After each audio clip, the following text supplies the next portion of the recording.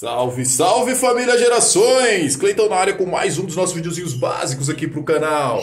Família, olha só, videozinho hoje não tão bom assim de novo. Parece que a gente tá numa Deu uma ziquinha aqui pro lado do Cleitão em alguns dos casais aqui, mas vamos lá, deixa eu mostrar para vocês direitinho o que está acontecendo. Vou passar para vocês o problema que eu acabei de encontrar aqui com esse casal, mas antes de qualquer coisa, galera, deixa eu pedir para você que não está inscrito no canal, se inscreve aí para dar aquela moral aí pro canal do Cleitão aqui, canal Canario Gerações.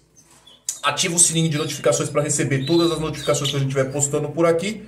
Além daquele likezinho maroto que ajuda a gente demais aí na divulgação do nosso trabalho, beleza família? Bom, isso posto galera, vamos lá, deixa eu mostrar pra vocês aqui, ó. Olha, vocês estão vendo essa fêmeazinha aí, ó?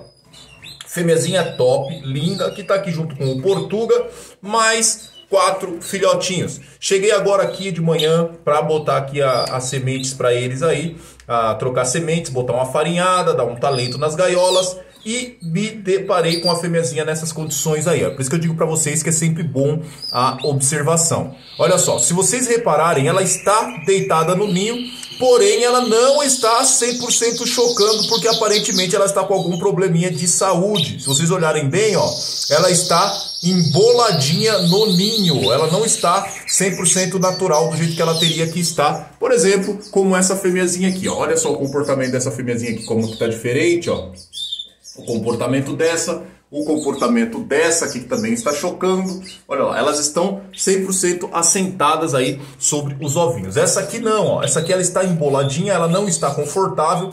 Então o que, que eu precisei fazer? Ó, agora que ela saiu dá pra gente perceber melhor. Ó, ela tá ali ó, emboladinha, não está saudável, deve estar com algum probleminha do tipo peito seco. Confesso a vocês que ainda não peguei ela na mão, embora eu já tenha tirado os ovinhos, ó. Como vocês perceberem ali, ó, são três ovinhos de quatro ovinhos de plástico. Eu não ia fazer esse vídeo, mas decidi compartilhar com vocês. Então ela rapidamente voltou pro ninho, eu peguei o celular e comecei a filmar. Provavelmente essa canarinha deu algum probleminha nela e ela está aí, ó, com peito seco.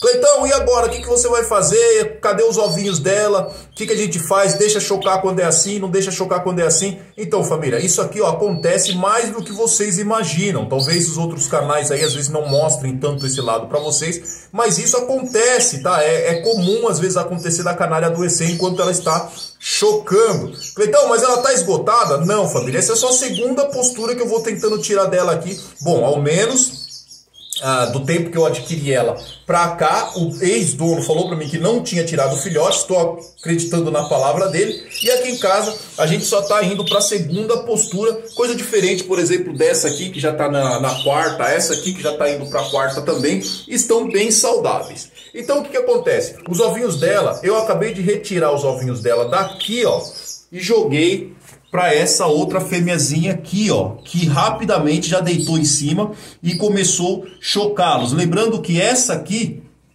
ela já estava chocando três ovinhos. Os dias de diferença dessa dos ovinhos dessa que ela iniciou a chocar para a fêmeazinha do Portuga é apenas de um dia. Essa aqui começou a chocar, eu não me lembro se foi dia de eu não me lembro o dia certo, tá anotado ali, que eu não faço anotação nas gaiolas, eu anoto em caderno, ah, o caderninho tá ali do lado, então eu anotei direitinho, mas eu sei que os dias de diferença do início do choco dessa para essa daqui é de apenas um dia. Então os filhotes daquela ali, teoricamente, teriam que nascer num dia e no outro dia os dessa aqui eram para nascer. Só que aí o que, que acontece? Agora aquela ali ficou com seis ovos. É muito, até é. Eu poderia jogar para algumas outras fêmeas que estão com quatro e tal, mas os dias são de bastante diferença, então eu tenho certeza que não vingariam. E ao fazer ovoscopia, tanto nos ovinhos dessa daqui quanto dessa daqui, eu notei que os seis estão galados. Então agora resta torcer para que os seis nasçam e vinguem. Agora, o que, que eu vou fazer com essa fêmeazinha e com o Portuga? Mais uma vez o Portuga se lascou todinho, porque o Portuga agora vai ter que ficar sozinho.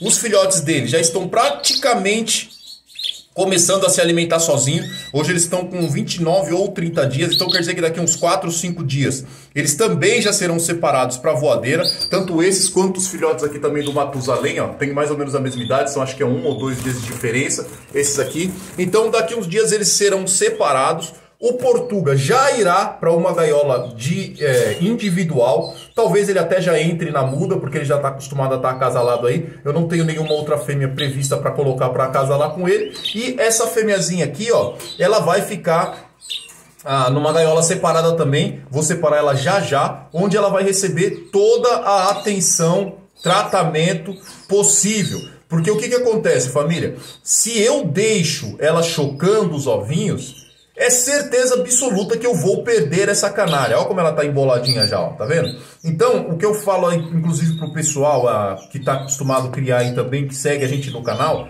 Pode até falar assim, Cleitão, mas não tem como eu tirar e colocar os ovinhos para outra, tão galado, se eu colocar para outra, ah, se eu for colo não colocar para outra, o que acontece? Os ovinhos vão morrer, vou perder? Sim, é bem provável que isso aconteça. Só que se você insistir com uma canária que adoeceu desse jeito, para que ela continue chocando, o que, que vai ocorrer com ela? Ela certamente vai morrer, porque o instinto dela vai fazer com que até onde ela aguentar, ela vai gastar as energias dela protegendo os ovos, tentando incubá-los. Então, insistivamente, ela vai se sacrificar cada vez mais para proteger ali a prole, para proteger os ovinhos. Então, o ideal, percebeu que a sua canarinha adoeceu, ainda que ela esteja com ovinhos, se ela estiver com filhotes, você pode tentar tratar os filhotes aí na, na seringa, na papinha. Agora, se não tiver jeito, é melhor às vezes até que você perca os, os filhotes dos ovinhos do que perder a canária. Porque se você insistir com uma canarinha nessas condições chocando,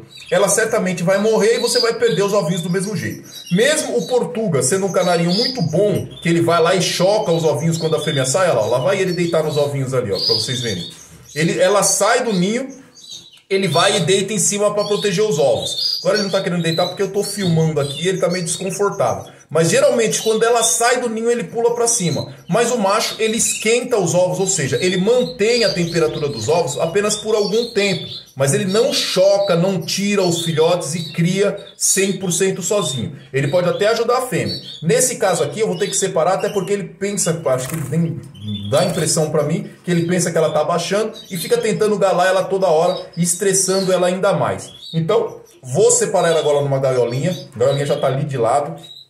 Vou fazer os manejos, os tratamentos, tudo certinho. Vou deixar o Portuga aí junto com os filhotes dele, continuar tratando os filhotes dele e vou dar um talento nessa fêmea que para ela a temporada 2020 acabou. Vou tratar ela direitinho, deixar ela bem forte e saudável, se Deus quiser. Vamos torcer para que eu consiga recuperá-la e aí na temporada que vem ela já vai ter uma nova chance de se reproduzir. Mas por enquanto ela vai apenas descansar para se recuperar. Beleza, família? Era isso que eu queria estar tá passando para vocês.